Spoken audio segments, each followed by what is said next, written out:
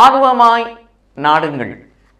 இது இயேசு கிறிஸ்துவுக்குள் பிரியமான என் சகோதர சகோதரிகளே இந்த நிமிட நச்சரிக்கை இயேசுவி நாமத்தில் நான் உங்களை அன்போடு அழைக்கிறேன். ஆர்வமாய் நாடுங்கள். எதை ஆர்வமாய் நாட வேண்டும்? அருளையும் கொடையையும். அருள் என்னும் கொடை அல்ல அருளையும் ஆர்வமாய் நாட வேண்டும் கொடையும் ஆர்வமாய் நாட வேண்டும். அதுதான் எழுதப்பட்டிருக்கிறது. ஒன்று குருந்தியர் பனிரெண்டாம் அதிகாரம் அந்த இருபத் முப்பத்தி ஒன்றில் வாசிக்கின்ற பொழுது இறுதியிலே நீங்கள் மேலான அருள் கொடையை ஆர்வமாய் நாடுங்கள். நாம் அதை பிரித்து பார்க்கலாம். அருளையும் ஆர்வமாய் நாட வேண்டும்.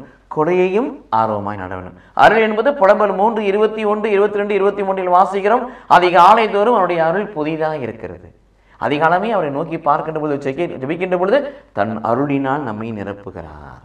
அந்த அருளை ஆர்வமாக ஒவ்வொரு நாளும் நாட வேண்டும். இரண்டாவது கொடைகள். கொடைகளை சொல்லப்படுகிறது. பிரியமானங்களே நாம் விசுவாசமிக்க வாழ்க்கையை வாழுகின்ற பொழுது பரிசுத்தாவை நமக்குள் கடந்து வருகிற பொழுது நமக்கு முதல்ல கொடைகளை கொடுப்பார் ஏசியா பதினொன்று இரண்டில் வாசிக்கிறோம்.